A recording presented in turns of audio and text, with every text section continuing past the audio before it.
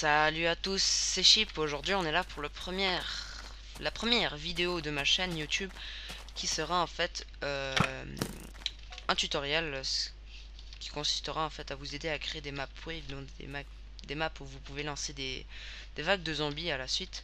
Donc je vais mettre un peaceful. Voilà. Et donc pour commencer, on va ouvrir une porte avec du sable. Donc elles sont déjà toutes ouvertes, c'est dommage. Je vais réinitialiser une. attendez. J'en remets une à l'état de base. Oups, ça... Bon, bah, c'est pas grave. Voilà, et voilà. Donc, le but, c'est de mettre du sable beaucoup, beaucoup, beaucoup. Je vais baisser d'ailleurs le son du jeu. Voilà. De mettre du sable et euh, au bout d'un moment, voilà, ça va se fermer et ça va nous ouvrir la porte pour continuer à la prochaine salle où il faudra euh, tout le temps à la suite. Donc c'est vraiment très très très simple, faut juste comprendre quelques trucs de base dont je vais vous montrer maintenant. En fait, le sable, comme tous les blocs, peuvent passer du courant. La différence c'est que le sable, il est lié à la, gravité. Donc il tombe et ce qui va nous permettre en fait de faire un tout petit truc très sympa qui est ceci. Pouf Voilà. Donc à chaque fois quand ça va activer le chemin, ça va le pousser dans le trou et à fur et à mesure que ça va remplir le trou, vous verrez ici que si j'en reposant, oula, si j'en reposant, ça va le mettre ici, donc celui-là on s'en fout. Et ça va pouvoir activer, oups là, qu'est-ce que je fais? Ça va pouvoir activer un deuxième système qui sera placé en fait juste ici. Ce système va fermer la porte, euh, ouvrir la porte plutôt, et fermer en fait le, bah, le petit système. Donc on va commencer tout de suite par réfléchir combien de cube de sable vous voulez mettre. Donc c'est franchement le truc le plus dur. Maintenant, alors moi je vais en mettre environ, on va dire, euh, allez, 7. Donc vous mettez un cube, moi vous n'êtes pas obligé, moi j'en mets un juste pour me rappeler d'où ça s'arrête. Donc je compte jusqu'à 7. 1, 2, 3, 4, 5, 6, 7. Ensuite, quand vous êtes descendu, quand vous avez mis vos 7 cubes de sable, vous descendez de juste de 2 blocs. Voilà, ici.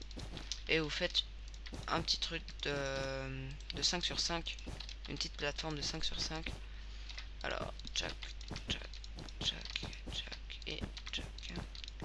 Voilà. Vous pouvez ensuite casser le sable. Voilà. Donc maintenant ce que vous allez faire c'est placer deux torches de redstone comme ceci et deux repeaters juste devant.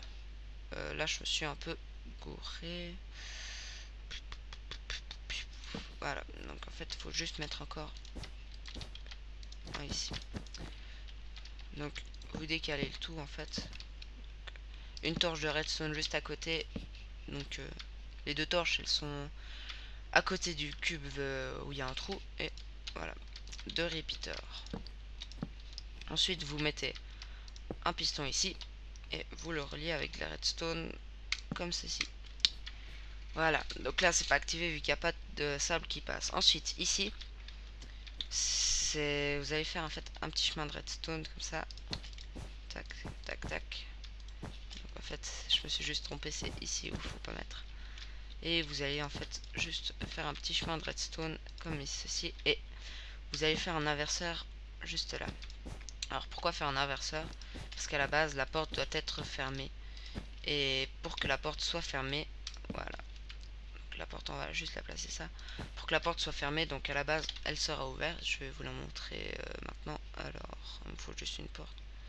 Voilà, ici, euh, check. Donc la porte sera ouverte de base et l'inverseur va la fermer bas de base justement. Alors, je me suis un peu gouré. Tac. Et tac. Donc la porte était, est fermée. On va juste continuer la petite plateforme où le joueur sera établi pour ouvrir la porte. Donc là faut laisser un creux en fait. Et voilà. Donc le joueur en fait va devoir placer le sable juste ici donc juste avant le, trou. Et à fur et à mesure que ça va pousser il y aura un bloc de sable en fait qui va se coincer juste ici. Donc où je viens de le poser mais il est tombé. Il va se bloquer et le suivant va le pousser pour alimenter l'autre circuit. Donc on va relier le circuit directement à l'inverseur et on va pouvoir fermer le circuit en fait comme ceci. Donc vous placez encore euh, comme ceci. Check. Vous faites encore un petit chemin. Et vous allez placer en fait un piston soit collant ou un piston normal en fait. Ça change rien. De toute manière ça va devoir pousser un autre cube. Donc voilà. On va mettre un cube orange et on le relie. Donc on vient de terminer le, tutoriel. Je vous avais dit c'est vraiment très très simple le seul truc qui est compliqué c'est si vous comprenez pas vraiment comment ça marche euh, de se faire passer du courant pour faire passer du courant, faut obligatoirement mettre un repeater devant le cube où vous allez le placer. C'est vraiment le truc indispensable. Pour le prochain tuto, je vais juste vous expliquer. Ce sera soit euh, débloquer des armes avec du sable. Donc là, je suis toujours en train de réfléchir. Et le prochain prochain, le grand tuto, ce sera le cœur même de la map Wave. Qui consistera à mettre des, du niveau de difficulté à fur et à mesure que vous lancez des manches donc euh, je vais vous donner un petit aperçu à la fin. Vite fait. Et donc je vais vous prouver juste que ça marche en fait le circuit. Voilà. Donc vous voyez, ça pousse à chaque fois. Donc là il est bloqué. On, pousse, on met le dernier. Voilà, ça se ferme automatiquement et on peut passer. Donc je vais vous faire juste un aperçu de du petit truc en espérant que tout marche parce que c'est possible qu'il y ait des modifications. Donc on appuie. Ça va lancer en fait le... Bah, attendez. On se met un easy. Voilà. Ça va faire spawner des monstres. Hop là. Et à fur et à mesure que ça va avancer ici, ça va faire environ spawner 7 à 8 zombies. Voilà, donc petit fail de ma part. J'ai oublié ici. Je vais donc petit fail de ma part, j'avais oublié un, un dispenser, un repeater, ah Donc vous voyez, ça va directement en fait pousser un piston. Bah déjà à la base et check. À fur et à mesure en fait ça va passer par euh, là. Check. Ça a poussé le piston, ça a bloqué le circuit. Et les zombies ne pourront plus spawner. Donc vous butez ensuite tous les zombies. Pourquoi il y a un squelette? Ok, vous butez les zombies et les squelettes. Et ensuite, ici, je vais juste vous refaire une fois, comme ça on atteint le deuxième stade. Hop là, ça va pousser un piston. Et cette fois-ci, ça va pas réussir à... Enfin, ça va réussir à aller là, mais ça va bloquer directement ici. Comme je vous ai dit. Euh... Hum, hum, hum, je vais juste réfléchir un peu au circuit. Là, ça va arriver ici ça va vouloir en fait lancer là. Ah voilà. Donc là j'avais mis des dispensers. Voilà. Ça va pas pouvoir laisser passer le courant. Et ça va refaire une boucle en fait ici pour euh, mettre plus de temps. Donc la boucle elle est à peu près... Ah là là. Bah elle est là la boucle. C'est fini et... Tchac le cube il se lève et il y a moins de zombies qui... Plus de zombies qui apparaissent à la suite.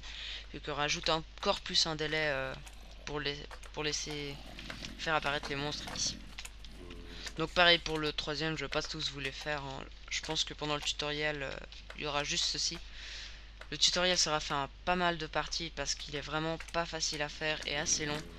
Et assez complexe surtout. Et donc on se retrouve sûrement pour euh, le prochain tutoriel. Merci d'avoir regardé cette vidéo. N'hésitez pas à vous abonner si cela vous a plu. Euh, commentez la vidéo pour savoir en quoi je pourrais m'améliorer. il y a beaucoup de choses en quoi je pourrais m'améliorer, mais plus pour être être plus objectif quoi. Et donc euh, passez une bonne soirée, une bonne journée, un bon après-midi une bonne matinée. Euh, et mangez bien des pommes quoi.